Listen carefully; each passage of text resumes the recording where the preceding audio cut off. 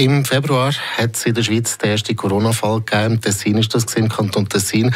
Ab dann haben sich immer mehr Leute mit dem Virus angesteckt. Am Anfang hat man die Covid-19-Fälle noch zurückverfolgen später nicht mehr. Jetzt, wo die Fallzahlen gesunken sind, kann man das wieder machen. Darum ist Contact Tracing wieder ein Thema. Aber wie funktioniert das und bleibt man dabei anonym? Darüber reden wir am Mittag. Die Frage stellen tut Livia Schmidt aus der Radio-Redaktion. Da ist es so, heute tauchen wir ein ins Thema Contact Tracing. Es ist ein grosses Thema und ich habe heute zwei Personen bei mir im Studio, die bei dieser Geschichte ein bisschen Licht ins Dunkel bringen können. Zum einen begrüße ich den Matthias Wellig. Er ist der Geschäftsführer vom Zürcher Softwareunternehmen Ubik und der Kopf hinter der neuen Corona-App. Und zum anderen begrüße ich Sofia Rovelli. Sie ist wissenschaftliche Mitarbeiterin an der Rechtsfakultät Freiburg und Expertin auf dem Gebiet Datenschutz. Der Bundesrat der hat gestern bekannt gegeben, dass es ab dem 6. Juni weitere Lockerungen gibt. Campingplätze, Theater, Kinos, Discos, die dann wieder auf oder auch Ferienlager können durchgeführt werden. Das Contact Tracing wird da also immer wichtiger, weil bei solchen Veranstaltungen wird es nicht möglich gesehen, um eben den Abstand, wo der Bundesrat will, einzuhalten. Herr Wellig, quasi, Sie sind quasi Spezialist in der Tracing-Geschichte. Sie sind, haben nämlich die Swiss Covid App mitentwickelt. Wie sind Sie überhaupt dazu gekommen, um so eine App zu entwickeln? Ähm, vielleicht zuerst noch mal ganz kurz, um klarstellen, was genau mit Contact Tracing gemeint ist. Es gibt ja verschiedene Geschichten. Also eins ist ja die Contact Tracing, was um die Nachverfolgung geht, die, die Behörden machen, ähm, manuell. Also das, was man ganz am Anfang von der Krise gemacht hat und jetzt wieder eingeführt hat. Und ich auf, auf der Seite von der App, ich mit einem anderen Teil Proximity Tracing, wo ja ergänzt, das Ganze ergänzt dazu. Genau, Sie haben gesagt, Sie, also Sie haben ja da mitentwickelt. Wie gesagt, wie, wie kommen Sie dazu, um so eine App zu entwickeln? Haben Sie da einen Auftrag bekommen oder haben Sie selber die Idee gehabt? Genau, also angefangen hat eigentlich alles äh, in der letzten Märzwoche, wo wir uns, äh, innerhalb von unserem Unternehmen überlegt haben, ja, was könnten wir machen im Zusammenhang mit der Krise. Es ist euch der zum ersten Mal ein bisschen aufgekommen, die ganzen Geschichten in Asien, was mit Hilfe von Smartphone-Apps haben äh, probiert, die die, die, quasi die Krise in den Griff zu bekommen. Und ähm, die Apps sind da aber sehr stark invasiv gewesen, was Datenschutz anbelangt. Invasiv, Und Entschuldigung, darf ich fragen? Heisst, was soll invasiv heißen? Für ähm, also da hat es zum Beispiel in China ein Beispiel gegeben, wo man eine App hatte, wo, wo im Prinzip einem äh, durchwechseln, die, die, die, Position ermitteln und, und wo nachher äh, quasi algorithmisch also wird, wird man angezeigt, ob man quasi in so ein Ampelsystem kann, rot, ähm, grün, gelb, äh, quasi, wo man gesehen hat, ja, wie, wie gefährlich ist man jetzt quasi und das ist dann gebraucht worden für irgendwelche Zutritte und so weiter, also quasi gewisse Leute haben gar nicht dürfen reisen mehr, wenn man rot war, die Grünen schon. Und das ist etwas, was wahrscheinlich in unseren Kulturkreisen sehr äh, stark, jetzt nicht unbedingt auf, also stößt auf Ablehnung, oder? Und wir haben quasi eigentlich basierend auf dem gedacht, hey, es müsste doch eine Möglichkeit geben, äh, so doch etwas dazu beizutragen, was aber eben nicht äh, meine Daten braucht, sondern etwas, was man euch anonym machen kann. Und äh, aus dem Grund uns auch das. Und, und, und, es hat auch noch verschiedene Studien oder quasi auch, mal Erkenntnisse noch gegeben, also, über, die, die, also über den Virus selber. Und quasi halt gesagt hat, dass man schon bevor dass man überhaupt Symptome hat, äh, ansteckend ist. Und das hat ihn dazu gebracht, äh, quasi an dem einmal zu überlegen, wie es geht. Und haben wir quasi im Rahmen von einem Hackathon haben wir am Wochenende ähm, die erste Alpha-Version gemacht von dieser App, wo wir äh, im Prinzip gezeigt haben, dass es eben technisch möglich ist, eine, eine App zu machen, wo ich quasi meine Kontakte, äh, also meine, die, die, die Kontakte, die ich habe mit Leuten, zu tracken, aber ohne, dass, dass man dadurch seine Privatsphäre ausgeht, also dass man im Prinzip anonym bleibt. Wenn ich jetzt die App abelade, wie funktioniert die? Also was muss ich da machen? Genau, also ich lade die zuerst mal an und nachher äh, äh, wird man durch, durch die, die App durchgeführt und sobald wenn ich die installiert und eingerichtet habe, ist, dass dort im Prinzip permanent ein, ein Signal ausschicken. Also das Bluetooth-Signal, das ist im Prinzip nichts Spezielles, das passiert jetzt schon mit, mit vielen Bluetooth-Geräten. Also wenn man zum Beispiel seine Kopfhörer will koppeln oder so, dann erscheinen die ja da bei Bluetooth drin. Im Prinzip ist das genau das Gleiche, also dann sagen wir ein Advertisement. Und im Prinzip dort die App sobald ich die installiere und eingerichtet habe, im Prinzip immer so ein Advertisement ausschicken. Und das ist im Prinzip, Bluetooth hat halt eine Reichweite von paar, das hat über einen Meterbereich, oder? Ähm, schickt das uns und die Leute, die quasi bei mir in der Nähe sind, die eben eure App haben, können im Prinzip das Signal empfangen. Und so wird im Prinzip jetzt lokal bei jedem Gerät im Prinzip ein Logbuch abgelegt, von welchen Kontakt habe ich wen gehabt auf was muss man sich da gefasst machen? Also sagen wir zum Beispiel eine Person, die jetzt an einer Kasse arbeitet, zum Beispiel in einem Laden und hat die App eingeschaltet und es laufen konstant Leute vorbei, die auch die App eingeschaltet haben. Nach welchem Zeitrahmen kann man damit rechnen, dass man den äh, soll ich sagen, dass man das Signal bekommt, Achtung, da hat jemand Covid-19 gehabt. Mhm. Also vielleicht noch ganz kurz noch zum Erwähnen vorher, das ist noch ganz wichtig zu sagen, dem Logbuch, all die, die Kontaktdaten, die ich abspeichere, die sind alle anonym, also das sind zufällig generierte Daten, also ich weiß nicht, wer das ich wann gesehen habe.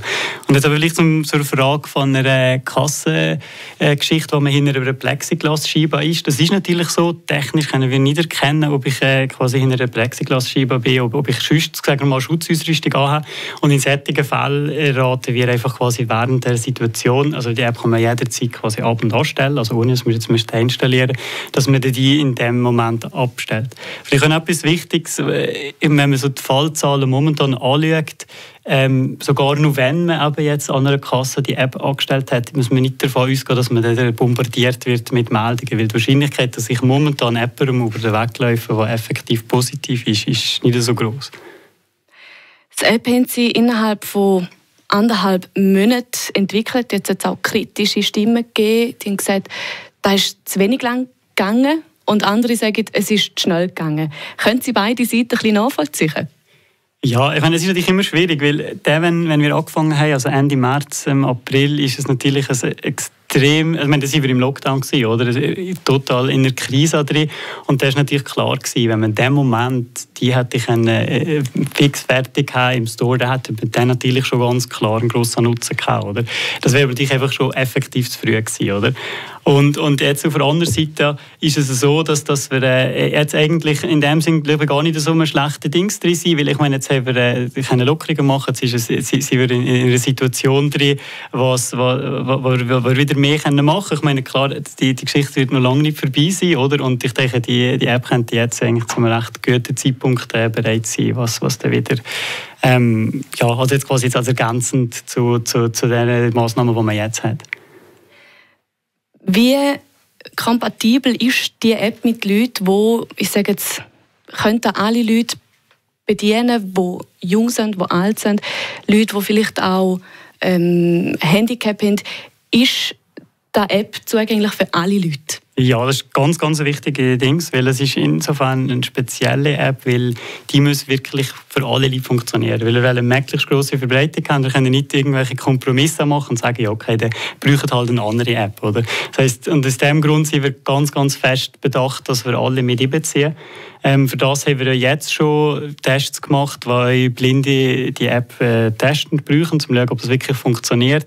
Wir werden noch Tests machen mit, mit älteren Leuten und das heißt, das ist echt ganz, ganz eine wichtige, wichtige Eigenschaft, die die App erfüllen Frau Rovelli, jetzt, wo wir über die Swiss Covid App schwätzen, da kommen natürlich auch Fragen auf zum Datenschutz. Also wenn jetzt man eben die App abladet, dann nachher geht man grundsätzlich davon aus, dass die Daten gespeichert werden. Ist es effektiv so?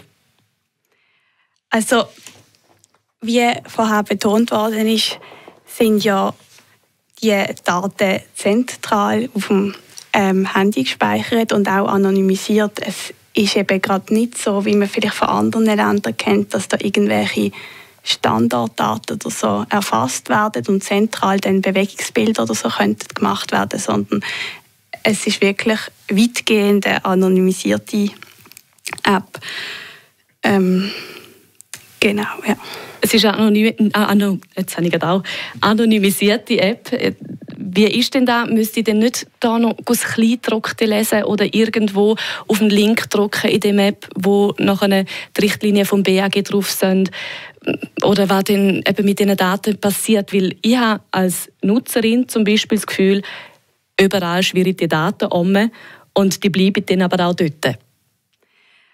Ähm, also zuerst sicher die Person eben, dass es ja das Ganze eine freiwillige Sache ist. Das heißt, man kann selber entscheiden, ob man das App will abladen oder nicht. Und dann kann man sich natürlich auch informieren und die Datenschutzerklärung im App nachlesen. Es ist ja dann auch, ich habe es jetzt selber noch nicht abgeladen, aber man kann ja dort eben auf einen Link draufklicken. Und auch sonst tut ja das BAG eine sehr gute und umfangreiche Frage- und Antwortbögen zur Verfügung stellen, wo man sich auch noch näher damit befassen kann. Das auch nochmal nachlesen kann, wenn man da ein, ein unsicheres Gefühl hat, also dass man sich dem wirklich damit auseinandersetzen kann. Jetzt ist ja so, dass auch das Parlament eben eine gesetzliche Grundlage dafür will schaffen. Das ist auch ein Entwurf ja jetzt schon vorgesehen und dort ist auch ganz klar betont, eben, dass es eine Zweckbindung von dem App gibt, dass das halt wirklich nur für die Corona-Epidemie eingesetzt wird. Es ist zeitlich auch beschränkt, es ist umfangmäßig beschränkt. Also äh, Daten werden ja auch nach drei Wochen wieder gelöscht. Die, aber es sind ja alles eben anonymisierte, sind ja keine Personendaten an sich. Das ist, ja, genau. Sie haben gesagt, die App ist beschränkt. Ja. Herr Wellig, was glauben Sie, wie lange wird die App da sein für uns? Also das wird, äh, die wird so lange da sein, wie wir Fälle haben und auch mit, auch mit der App können Fälle verhindern Das heisst, bis vielleicht auch mal äh, irgendwo eine Impfung gibt? Ja, also da ist natürlich nicht mein Fachgebiet und ich glaube, wenn der, der, der die, die der Zeitpunkt wisst, der, äh, ja, also ich, ich, meine, das wird sobald wie, wie wir eine Impfung haben, wie wir quasi unsere Krise wirklich nachhaltig draus sind und dass man, das, dass man einfach mit der App keine, keine Ansteckungen mehr kann tracken kann. So eine App, die braucht natürlich auch Leute, kompetente Leute. Wie viele Personen haben jetzt an dieser App angetüftelt? Ja, es sind ganz viele. Also, ich schon mal an mit wie viele Organisationen überhaupt. Also, ich meine, das sind ja die beiden Hochschulen, EPTH Zürich und EPFL, die, sich beteiligt haben. Es sind beim Bund verschiedene Stellen gewesen. Es ist das Bundesamt für, äh, für, für das BIT und äh, das BAG, die dran sind. Es ist äh, das National Center for Security Sciences ist dran gewesen. Ähm, VR bei Jubik. Und zumal für Inschatteil, wo man kann, kann reden kann, wir sind so zwischen 5 und 20 Leute, äh, je nach Phase halt gerade, wie, wie es bei uns gewesen, aber ich denke, alles in allem wird das noch viel mehr sein. Können Sie mm, plus minus sagen, wie viel das allgemein eine App kostet, wenn man sie macht? Das ist ganz, ganz unterschiedlich. Also ich meine, das, ist, äh, das kann von ganz einer, also wenn wir von allgemeinen App reden, das, das kann von, von einer ganz einfachen Geschichte sein, wo, wo man bei, äh, bei mehreren Tausend anfängt und das kann hin bis, bis also ich will nicht wissen, wie viel das zum Beispiel die Facebook-App für Facebook äh, kostet. Das wird ein, die werden wahrscheinlich mittlerweile einen dreistelligen Millionenbetrag ausgeben für die App. Oder ich meine, eine App ist im Prinzip einfach nur ein, ein Mittel für irgendetwas und da kann man beliebig viel investieren. Sie haben Swiss Covid App und äh, das Tracing, das sind verschiedene Sachen. Das ist mehr eine Ergänzung zum Tracing. Und ich gebe jetzt weiter an Matthias Walten. Danke vielmals, weil in drei Minuten da gibt es die Kurznachrichten um halb eins. Erst und erst gibt es zuerst jetzt hier. Ich wünsche noch einen guten Mittag. Und eben, die Frage habt, gerne schicken per WhatsApp 079 28 24 123. It's like thunder and lightning. You heard me without trying. A tempestuous rising. No, I don't like to be this way. And you're Jekyll and hiding. Are you real? Are you lying? So stop with your crying. I can't handle it now. You tell everyone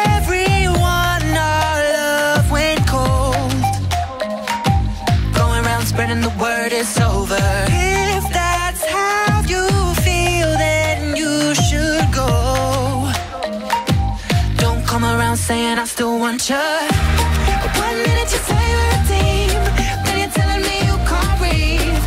Well, you should set me free, baby, if you're over me. Yesterday you said I'm the one, but now you say you're done. Stop telling me what I need, baby, if you're over me. There you go, there I said it. Don't look at me all offended. You played games till it ended. I've got to look out for me. Say that it's easy. Oh, I know I hate leaving. but you can't keep deceiving.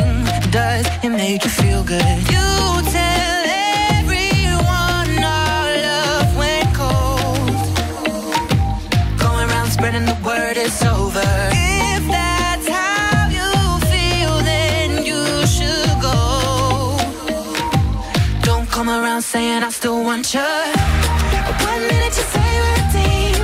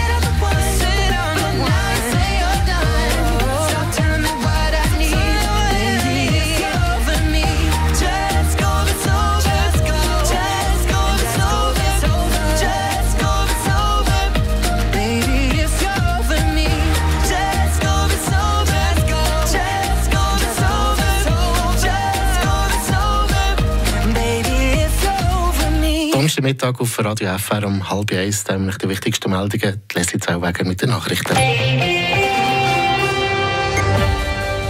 Belchas soll künftig der einzige Gefängnisstandort im Kanton Freiburg sein. Das hat das Kantonsparlament entschieden. Es hat zwei Kredite in Höhe von 30 Millionen Franken bewilligt. Mit dem Geld soll einerseits der Standort Belchas ausgebaut und renoviert werden. Außerdem hat das Kantonsparlament einen Kredit bewilligt, um zu prüfen, wie das Zentralgefängnis der Stadt Freiburg nach Belchas kann verlegt werden die regionalen Arbeitsvermittlungszentren, die RAF vom Kanton Freiburg, die machen ihre Schalter wieder auf. Wie ihre Mitteilung steht, dürfen ab dem 2. Juni Stellensuchende und Arbeitslose Arbeitslose wieder in die RAFs gehen. Es wird aber empfohlen, sich vorher per Telefon, Mail oder Post zu melden. Beratungs- und Kontrollgespräche mit Stellensuchenden werden entweder per Telefon oder vor Ort stattfinden. Zum Murten ist in der Nacht auf gestern ein Falschfahrer auf der Autobahn unterwegs gewesen. Das meldet die Kantonspolizei in einer Mitteilung. Der 36-Jährige ist auf seiner Strecke von Murten Richtung Bayern alkoholisiert auf der falschen Seite unterwegs gewesen. Auf der Höhe von Avanche hat er dann umgekehrt und wieder, ist wieder Richtung Bern gefahren. Zu Bern ist der Autofahrer gestoppt worden. Die Polizei hat ihm den Führerausweis weggenommen und ihn angezeigt. Im Kanton Freiburg soll diesen Herbst möglichst viele Jugendliche eine Lehrstelle finden. Das fordern mehrere Parlamentarier in einem Vorstoß. In dem schreiben sie, dass im Moment viele Betriebe wegen der Corona-Krise zögern, Lehrlinge einzustellen. Darum soll der Staat den Lehrbetrieben einen finanziellen Anreiz geben. Die Grossrätinnen und Grossräte schlagen auch vor, dass bei der staatlichen Lehrstellenplattform der Personalbestand soll aufgestockt werden und die Bundesverwaltung kommt 20 zusätzliche Stellen über für die Stärkung der Cybersicherheit. Das hat der Bundesrat entschieden. 2013 sind 30 Stellen geschaffen worden für die Umsetzung der nationalen Strategie zum Schutz vor Cyberrisiken. Vor einem Jahr hat der Bundesrat ebenfalls 24 zusätzliche Stellen gesprochen. Zum Wetter ist der Donnerstagnachmittag im Freiburger Land schön. Die Sonne scheint, hat einzelne Wolken um, die bleiben grösstenteils harmlos. Könnte über den Bergen, wo es ein bisschen mehr Wolken um hat, mal kurz gegeben, aber die Wahrscheinlichkeit ist da ziemlich klein. Das bei Temperaturen um die 23 Grad. Wetter auf Radio FR. Radio FR Verkehrsinfos. Mit Freitags eure Online-Steuererklärung. Einfach, schnell und sicher. fr.ch/freitags. Ein Blick auf die Straße an drei Minuten ab der halben eins. Da verläuft alles störungsfrei im Sendegebiet. Ich wünsche euch allen unterwegs eine gute und vor allem sichere Fahrt. Verkehrsstörungen melden könnt ihr bei Swiss Traffic auf dem Nummer 0842 363 363. Contact Tracing spielt gegen mehr wichtige Rolle. Ein Thema, das wir diesen Mittag ein bisschen genauer anschauen. In der Mittagsinfostunde diskutieren wir näher darüber. Weiter, mein Name ist Matthias Walpen. Guten Mittag.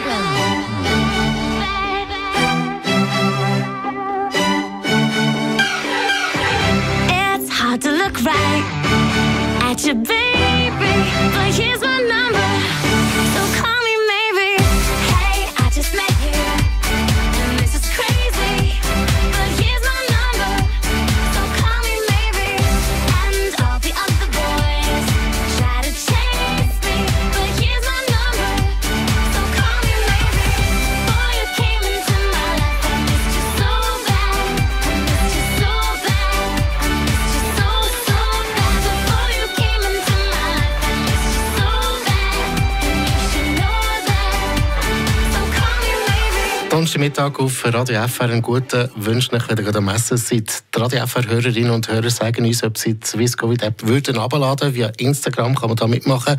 56% sagen ja, 44% sagen nein. Livia Schmidt. 44 Prozent, die Nein sagen.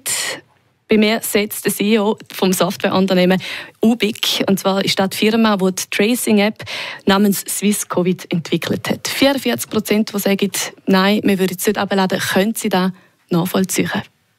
Also vielleicht wichtig ist, es ist natürlich freiwillig für jeden, das zu installieren. Also das heißt, äh, das, das kann, da kann durchaus sein.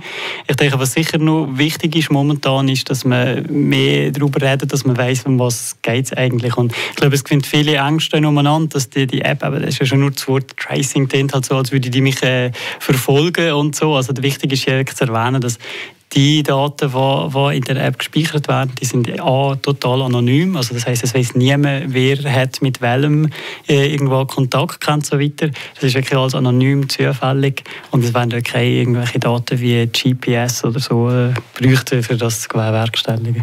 Welche Daten wären denn gespeichert e- effektiv? Genau, Also es wird lokal auf dem Gerät selber werden die anonymen randomisiert, also zufällige Daten, die ich äh, über die Kontakte, also bei diesen anderen Geräten, die bei mir in der Nähe sind, die werden abgespeichert in so einem Logbuch. Ähm, die sind aber, wie gesagt, anonymisiert und äh, die bleiben einfach für, für 14 Tage so in, auf dem Gerät drauf. Und da gibt es nur den Fall, dass wenn jemand wirklich positiv getestet wurde, bekommt er so einen Code, den er kann in einer App und in dem Moment werden quasi Scheine zufällig randomisiert. ID wird nachher äh, veröffentlicht, dass die anderen quasi können nachvollziehen wel also dass, dass man wirklich mit einem positiven, sagen wir mal so zufälligen Zahl oder ID in, in, in Kontakt war. Ich frage noch schnell wegen der Ziffern, die Sie jetzt gerade erwähnt haben, oder wegen dieser Zahl. Also angenommen, eine Person äh, hat die Covid-App und dann hat sie Corona und hat getestet, ist positiv. Und dann kommt sie von wem die Zahl über? Kommt sie die vom Doktor über oder kommt sie die von der App über oder muss sie da der App melden? Genau, das? das ist eigentlich im Prinzip im Prozess, wo, wo der Test selber wird passieren. Also das heißt, wenn ich einen Test habe, bekomme ich auf irgendeinem Kanal ähm, die, die, äh, quasi das, das bestätigt mit, dass er eben positiv ist war. Und mit der Bestätigung wird man quasi, sobald dass die App überhaupt verfügbar ist, wird man da einen Code mitbekommen, den ich auch wieder freiwillig, also wenn ich zwar die App installiert habe, dann doch nicht so ein gutes Gefühl habe, mit dem kann man auch da nochmal Nein sagen, dann kann ich quasi freiwillig den Code eingeben und so im Prinzip nachher melden, dass, dass die Leute, die mich also mich, muss man sagen, ich, mein, mein Handy halt in der Nähe sind, anonym quasi benachrichtigt werden, dass, dass, dass sie sich potenziell infiziert haben. Frau Rovelli, wir haben es jetzt eben gerade gehört, äh, ein bisschen mehr als die Hälfte würde sie installieren, die Swiss Covid App. Wie steht es bei Ihnen so? Würden Sie sie installieren?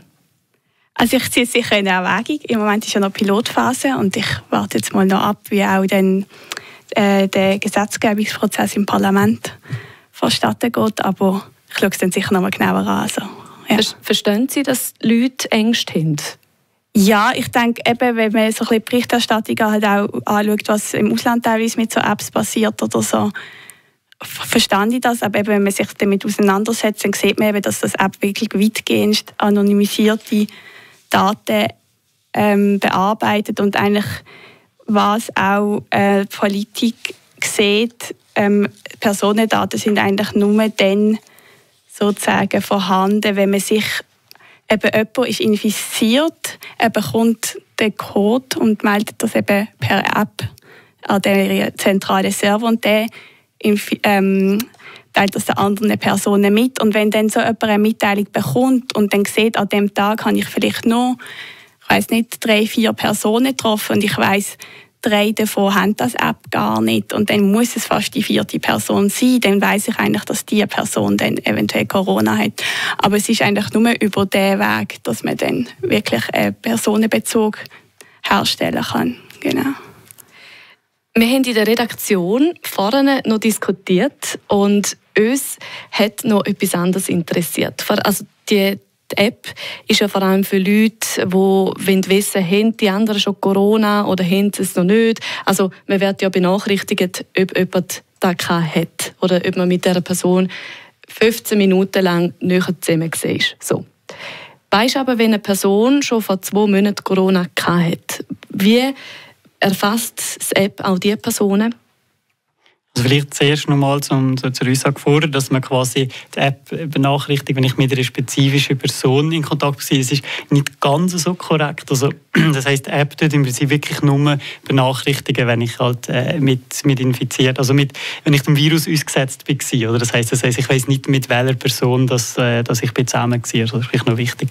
Und eben das andere, das ist auch etwas, was recht wichtig ist. Es geht ein bisschen in die Frage, die vorher schon gestellt worden, bezüglich Akzeptanz, dass man will. Und das, solche Features sind eigentlich bewusst nicht vorgesehen, dass man irgendwie nur würde auszeichnen, äh, ich habe schon mal, ich habe schon mal Corona gehabt und eben so wie das Ampelsystem, wie, wie das in China vor etwas anderes gebraucht hat. Das ist echt noch wichtig, dass man da ganz klar den, äh, den Schnitt macht. Die App ist wirklich einfach dafür da, für das, das Contact Tracing zu ergänzen, für das zu unterstützen, dass man im Prinzip auch Fälle findet. Also wirklich noch wichtig, also es wird ja momentan effektiv das Contact Tracing gemacht, also manuell, oder? Das heißt, wenn, wenn, äh, wenn, wenn ich äh, positiv getestet bin, dann werde ich äh, ein Interview abgeben und, und dann werde ich befragt, wie, mit welchen Leuten dass ich wenn wie in Kontakt war, dass man die auch wieder kann isolieren kann. Das ist Teil der Strategie momentan und die App tut eigentlich ein zusätzliches äh, Ding noch für zum Beispiel Fälle in, in, in öffentlichen Verkehrsmitteln, in, wenn ich irgendwo angestanden bin und so weiter. Das heißt einfach, oder mich halt einfach äh, schlicht nicht mehr daran erinnern, dass ich eine gewisse Person habe gesehen Sie haben es gerade angesprochen, das reguläre Contact Tracing, das mache ich jetzt auch vermehrt andere Kantone. Auch im Kanton Freiburg macht man das. Jetzt ist es so, dass ja dort auch Daten geholt werden von den Leuten. Das heisst, sie wissen einfach, okay, man hat, die Person hat Corona. Könnte man jetzt überspitzt sagen, aus dem Staat Schweiz wird der Überwachungsstaat Schweiz? Äh, das ist jetzt gerade sehr äh, weit geholt. Ja, also ich meine, der Staat hat natürlich auch die Aufgabe, dass er seine Bevölkerung schützt. Oder? Und wir haben ja jetzt hier eine Krankheit, die wir vorher noch nicht kennt haben, die sehr ansteckend scheint. Und da muss der Staat natürlich auch seine Schutzfunktion wahrnehmen. Und natürlich ist es aber immer dann eine Frage von der Güterabwägung, bis wo kann man Daten aufnehmen bis wo nicht. Aber wenn jetzt eben jemand zum Arzt geht und sich dort lässt behandeln ist das ja normal. Das haben wir ja schon immer, wenn man zum Arzt geht, dass man so seinen Namen angeht und dass auch ein Patientendossier erstellt wird. Ja. Falls ihr auch noch Fragen habt an Herrn Wellig oder an Frau Rovelli, dann könnt ihr das gerne machen. Ihr könnt es nämlich in die Spalte rein bei Facebook reinschreiben, ähm, direkt. Und wir werden euch natürlich gerne die, An äh, die Antworten liefern. Genau. Man kann natürlich aber auch per WhatsApp mitmachen und Fragen stellen. Die Nummer gebe ich da sehr gerne mit 079 28 24 123. Wir machen weiter mit dem Contact Tracing. Ich würde noch gerne äh, bei Ihnen bleiben, Frau Ravelli. Es geht darum, dass im Kanton Freiburg macht man ja da auch. Oder? Und wenn jetzt eine Person äh, gemeldet ist als Person, die Corona hat, dann nachher wird ja auch der Kontakt eben zurückverfolgt. Mit welchen Personen hat die erkrankte Person Kontakt gehabt. Jetzt ist es so, dann kommen die eine Benachrichtigung über. Und die müsste dann zehn Tage lang in die Selbstisolation. Wenn nicht, dann könnte es eine Anzeige geben. Wie schwierig ist da? Ist es überhaupt äh, ein Problem? Ist es keine irgendwie Freiheitseinschränkung der Bürgerinnen und der Bürger? Also da kurz auch zum wirklich klarstellen, dass es eben da geht um das klassische Contact Tracing, also eben nicht um die Covid-App, weil die App soll überhaupt keine Auswirkungen haben auf ähm, dass man in eine Isolation muss. Es ist wirklich alles nur freiwillig, einfach das zu nochmal sagen. Aber ja, natürlich beim klassischen Tracking-System, wenn eben man angerufen wird vom Kanton, weil man eben herausgefunden hat, dass man mit einer infizierten Person Kontakt gehabt hat, dann haben wir auch Grundlagen eben im Epidemiegesetz, die vorgesehen, dass aufgrund von halt der Gefährdung von der Gesellschaft allgemein, dass sich einzelne Personen sollen isolieren sollen Natürlich ist das dann ein Eingriff in die Bewegungsfreiheit von der einzelnen Person, wo dann halt, wo in dem Fall abgewogen wird gegenüber der Allgemeinheit. Bei so Zwangsmaßnahmen muss man natürlich immer schauen, dass sie verhältnismäßig sind und befristet und genau ja. Bei der Swiss Covid App ist es ja eher eine Empfehlung. Ja. Wie ist es denn, wenn jetzt die Person in die Selbstisolation geht, trägt da nachher ein Unternehmen, wo die Person schafft, automatisch? Zurzeit ist es so, dass das eben alles rein freiwillig ist. Das heißt, wenn man so eine Notifikation kriegt über das App, kann man eben selber schauen, ob man sich will isolieren oder nicht. Der Arbeitgeber ist aber zurzeit nicht verpflichtet, eine Lohnfortzahlung also zu gewährleisten. Für das müssen wir dann effektiv eben zu einem Arzt, wie man zum Beispiel Symptome hat, der wird das dann abklären und wenn er dann feststellt, da muss jemand in Quarantäne, dann kann er das Zeugnis ausstellen und dann haben wir auch Anspruch auf Lohnfortzahlungen. Das Swiss Covid App ist, wie gesagt, eine Ergänzung zu der, zum normalen Tracing.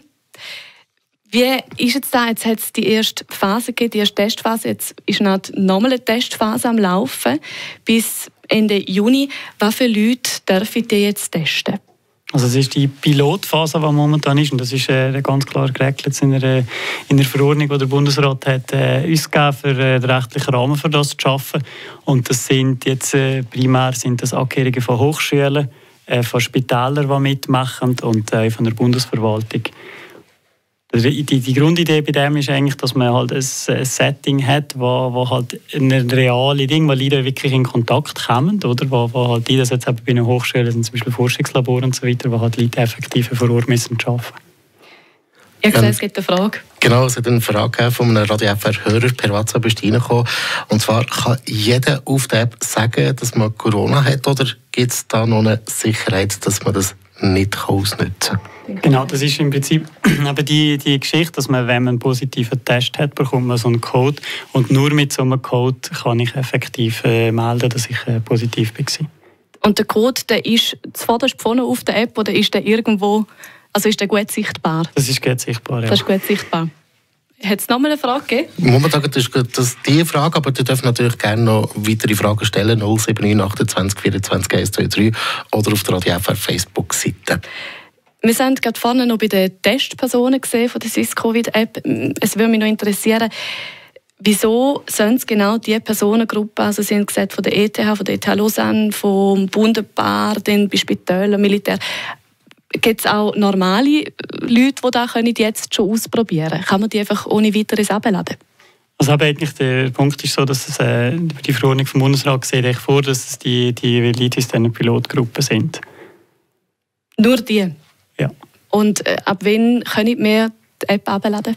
Äh, Das ist im Prinzip, äh, das, äh, wie es vorher erwähnt ist, äh, wird das Parlament noch darüber debattieren und da wird im Prinzip rauskommen, was man genau macht mit dem oder in, was der gesetzliche Rahmen wird sein für einen breiten Rollout von dem und das ist äh, frühestens natürlich nach dem, wo das Parlament darüber debattiert hat und die dann in der Sommersession, wo jetzt bald startet, über das debattieren. Also wir haben jetzt über die Swiss Covid App geschwätzt, wir haben über das Tracing geschwätzt, über das normale Tracing, das sind zwei verschiedene Sachen. Ich sage es gerne nochmal. Und bei der Swiss Covid App, äh, Frau Rovelli, datenschutzmäßig kein Problem, einwandfrei. So, eben wie es jetzt ausgestaltet worden ist, ist ja wirklich der Grundsatz von dieser Datenminimierung äh, eingehalten worden. Also es ist wirklich versucht worden, das möglichst weitgehend anonym zu machen. Und man kann wirklich sagen, es ist eine datenschutzfreundliche Ausgestaltung von dem App. Ja. Dann wären wir schon langsam am Schluss von unserer Fragerunde angekommen. Und wenn Sie noch zum Schluss etwas sagen, Frau Rovelli? Ähm, ist gerade gut. Ist gut. Herr Wellig.